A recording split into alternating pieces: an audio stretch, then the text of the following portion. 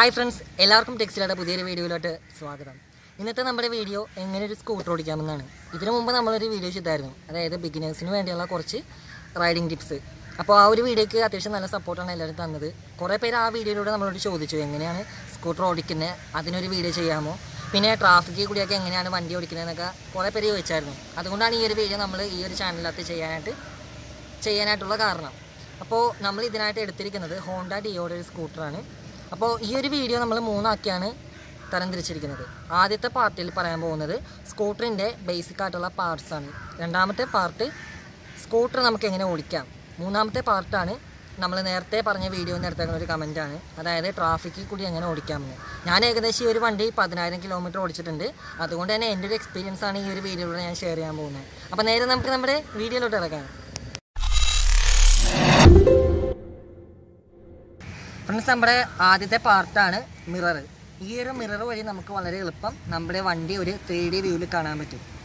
ഇത് നമ്മുടെ സ്കൂട്ടറിന്റെ ഇടതുവശത്തെ ബ്രേക്കാണ്. ഈ ഒരു ബ്രേക്കിനെ പറയുന്നത് കോമ്പി ബ്രേക്ക് എന്നാണ്. പേര് പോലെ തന്നെ കോമ്പിനേഷനാണ് ബ്രേക്കിന്റെ. ഫ്രണ്ട് ബ്രേക്കിന്റെയും ബാക്ക് ബ്രേക്കിന്റെയും കോമ്പിനേഷനാണ് ഈ ഒരു ബ്രേക്ക്. ഇത് വണ്ടിയുടെ ഹെഡ്ലൈറ്റിന്റെ സ്വിച്ചാണ്.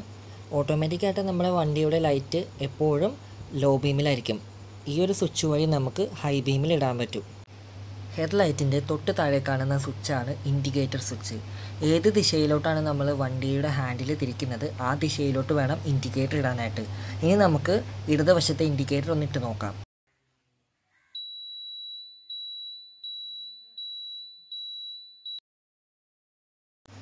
ഇനി നമ്മുടെ വണ്ടിക്ക് വലത്തോട്ടാണ് പോവേണ്ടതെങ്കിൽ ഇൻഡിക്കേറ്റർ വലത്തോട്ട് ഇട്ട് കൊടുക്കാം.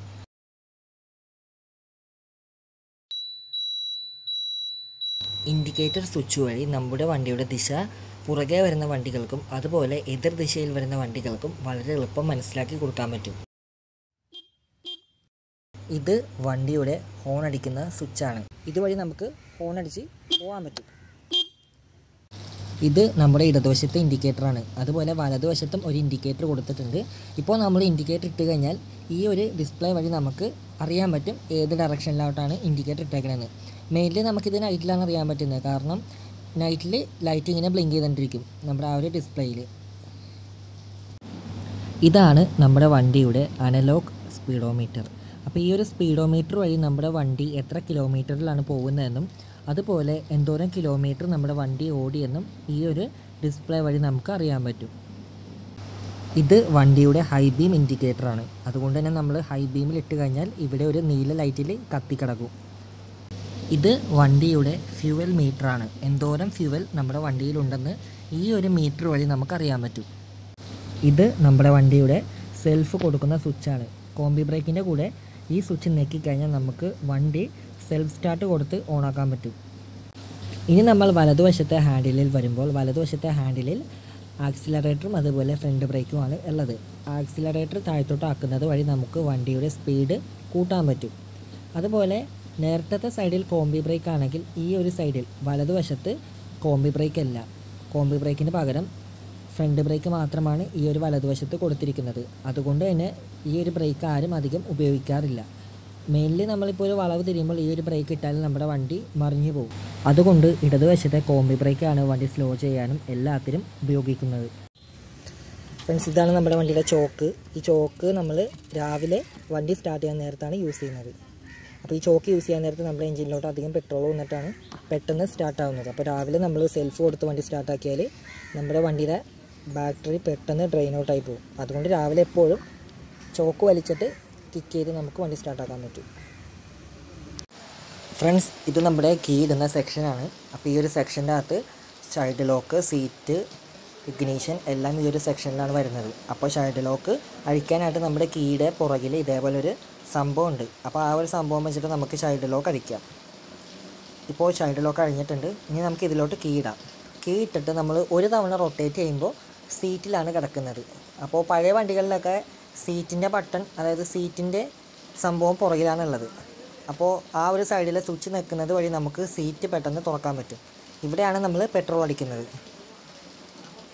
ഇനി നമുക്ക് ഒന്നുകൂടി തിരിച്ചാൽ നമ്മുടെ വണ്ടിയുടെ ബാറ്ററി എല്ലാം ഓണാകും പക്ഷേ എൻജിൻ ഓണാവില്ല എൻജിൻ ഓണാവാനായിട്ട് നമുക്ക് ഒന്നെങ്കിൽ കിക്കർ അടിച്ച് സ്റ്റാർട്ട് ചെയ്യാം. ഇല്ലെങ്കിൽ സെൽഫ് കൊടുത്ത് സ്റ്റാർട്ട് ചെയ്യാം. ഇത് മുമ്പിലിരിക്കുന്ന ആളുടെ ഫൂട്ട് റെസ്റ്റിന്റെ പൊക്കത്തുള്ള ചെറിയൊരു ഹുക്കാണ് ഈ ഒരു ഹുക്കിൽ നമുക്ക് ഏകദേശം ഒന്നര കിലോ വരെ തൂക്കിയിടാൻ പറ്റും. ഇത് നമ്മുടെ വണ്ടിയുടെ സീറ്റിന്റെ തൊട്ടടിയിൽ കാണുന്ന ഒരു ഹുക്കാണ് അപ്പോൾ എന്തെങ്കിലും കവറൊക്കെ ഉണ്ടെങ്കിൽ നമുക്ക് ഇതിന്റെ അകത്ത് ഇട്ടിട്ട് ഇതേപോലെ ലോക്ക് ചെയ്ത് വെക്കാൻ പറ്റും. ഫ്രണ്ട്സ് ഒരു സ്കൂട്ടറിന് പൊതുവെ രണ്ട് സ്റ്റാൻഡാണ് ഉള്ളത്. ഒരെണ്ണം സൈഡ് സ്റ്റാൻഡും ഒരെണ്ണം സെൻട്രൽ സ്റ്റാൻഡും. ഇതാണ് സ്കൂട്ടറിന്റെ സെൻട്രൽ സ്റ്റാൻഡ്. അതുപോലെ ഇതാണ് സ്കൂട്ടറിന്റെ സൈഡ് സ്റ്റാൻഡ്. ബാക്കിലോട്ട് വന്നാണെങ്കിൽ നമുക്ക് കാണാൻ പറ്റും. ഇതാണ് സ്കൂട്ടറിന്റെ കിക്കർ. ഇവിടെ ചവിട്ടിയാണ് നമ്മൾ വണ്ടി കിക്ക് സ്റ്റാർട്ട് ചെയ്യുന്നത്.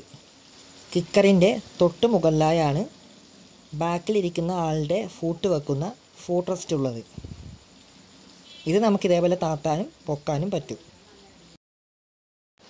ഇതാണ് വണ്ടിയുടെ സൈലൻസർ. ഇതിലൂടെയാണ് വണ്ടിയിൽ ഉണ്ടാകുന്ന പുക മൊത്തം പുറത്തോട്ട് പോകുന്നത്.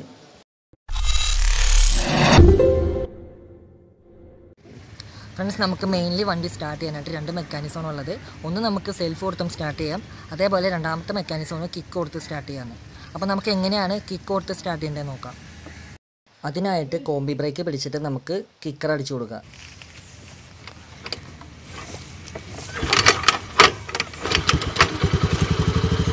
ഇപ്പം നമ്മുടെ വണ്ടി സ്റ്റാർട്ട് ആയിട്ടുണ്ട് ഇങ്ങനെയാണ് നമ്മൾ കിക്ക് കൊടുത്ത് വണ്ടി സ്റ്റാർട്ടാക്കുന്നത്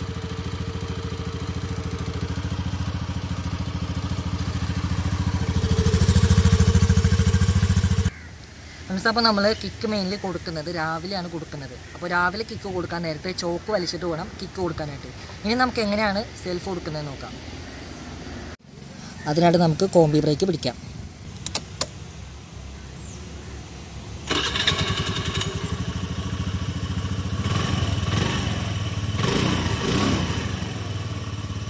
ഇനി നമുക്ക് വണ്ടി ഓടിക്കുമ്പോൾ അറിഞ്ഞിരിക്കേണ്ട കുറച്ച് കാര്യങ്ങളുണ്ട്. ആ കാര്യങ്ങൾ എന്തൊക്കെയാണെന്ന് നോക്കാം. ആദ്യത്തെ കാര്യമാണ് ഹെൽമെറ്റ്.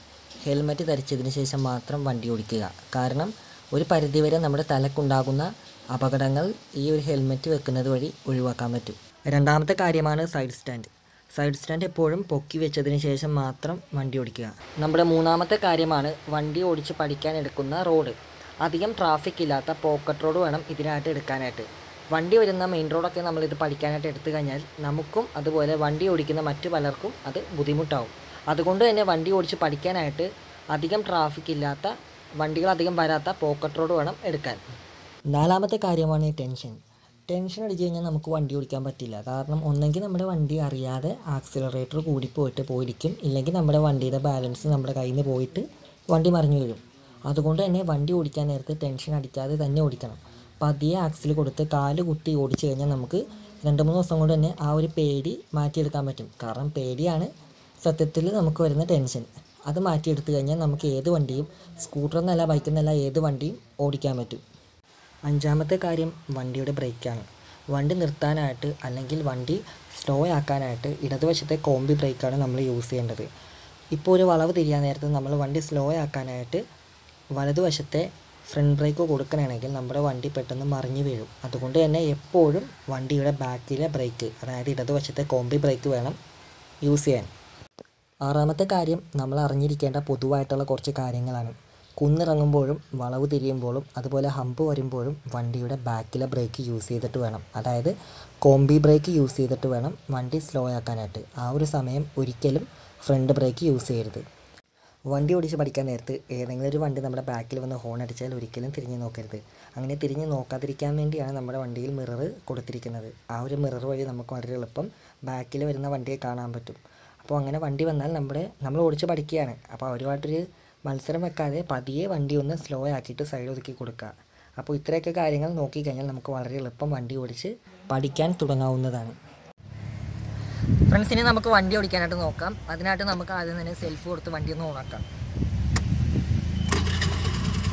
ഇപ്പോൾ നമ്മുടെ വണ്ടി ഓണായിട്ടുണ്ട്. ഇനി നമുക്ക് ആക്സിലറേറ്റർ പതിയെ കൊടുത്ത് പോകാം. പതിയെ കൊടുക്കാൻ നേരത്തെ മിക്കവർക്കുള്ള പ്രോബ്ലമാണ് ആക്സിലറേറ്റർ കൂടി പോയിട്ട് പെട്ടെന്ന് വണ്ടി മറിഞ്ഞ് വീണിട്ട് എന്തെങ്കിലുമൊക്കെ പറ്റുന്നത്. അപ്പോൾ അത് ഒഴിവാക്കാനായിട്ട് എന്തൊക്കെയാണ് ഇനി അവിടെ നിന്നു? അപ്പോൾ അത് ഒഴിവാക്കാനായിട്ട് നമുക്ക് എന്ത് ചെയ്യാമെന്ന് വെച്ചാൽ നമുക്ക് സ്റ്റീലിന്റെ കേബിൾ ടേ കിട്ടും. അപ്പോൾ ആ കേബിൾ ടേ നമ്മുടെ ഹാൻഡിൽ പിടിപ്പിക്കണമെങ്കിൽ ഒരു പരിധി വരെ ആക്സിലറേറ്റർ കൂടിപ്പോയിട്ട് വണ്ടി മറിഞ്ഞു വീഴുന്നത് നമുക്ക് ഒഴിവാക്കാൻ പറ്റും. അപ്പോൾ ഇനി നമുക്ക് നേരെ പതിയെ ആക്സിൽ കൊടുത്തിട്ട് ഒന്ന് പോയി നോക്കാം. തുടക്കത്തിൽ തന്നെ ഞാൻ പറയാം നമ്മളിപ്പോൾ എന്തെങ്കിലും ഒരു കാര്യം ഇത്തിരി ഇഷ്ടത്തോടെ പഠിച്ചാൽ മാത്രമേ നമുക്കത് പെട്ടെന്ന് മനസ്സിലാവുള്ളൂ. അല്ലെങ്കിൽ എന്താ പറയുക കുറേ സമയം എടുക്കും നമുക്ക് മനസ്സിലാവില്ല. നമ്മളിപ്പോൾ നമ്മുടെ വണ്ടീനെ നന്നായിട്ട് സ്നേഹിച്ച് നമുക്ക് വളരെ എളുപ്പം വണ്ടി ഓടിക്കാൻ പറ്റുന്നതാണ്. അപ്പം നമുക്ക് നേരെ ഒന്ന് വണ്ടി ഓടിച്ചിട്ട് വരാം. പതിയെ.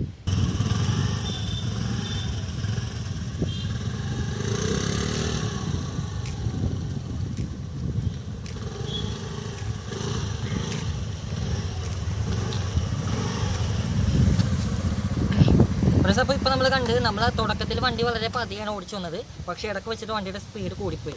അപ്പോൾ അങ്ങനെ കൂടിപ്പോകാതിരിക്കാൻ വേണ്ടിയാണ് ഞാൻ നേരത്തെ പറഞ്ഞത് കേബിൾ ടൈ യൂസ് ചെയ്യുന്ന കാര്യം. അപ്പോൾ ആ ഒരു കേബിൾ ടൈ യൂസ് ചെയ്യാനാണെങ്കിൽ നമുക്ക് അധികം ആക്സിലറേറ്റർ കൊടുക്കാൻ പറ്റില്ല. അതായത് കുറച്ച് മാത്രമേ കൊടുക്കാൻ പറ്റുള്ളൂ. എന്നാൽ വണ്ടി നീങ്ങുകയും ചെയ്യും. ആ ഒരു പരുവത്തിൽ നമുക്ക് വണ്ടി ഓടിക്കാൻ വേണ്ടി പറ്റും. ഇതുപോലെ ആക്സിലറേറ്റർ കുറച്ച് കൊടുത്തിട്ട് പതിയെ കാൽ കുത്തി പോകണമെങ്കിൽ വളരെ എളുപ്പം നമുക്ക് സൈക്കിൾ ബാലൻസ് ഇല്ലെങ്കിലും വണ്ടി അത്യാവശ്യം നന്നായിട്ട് ഓടിക്കാൻ പറ്റുന്നതാണ്.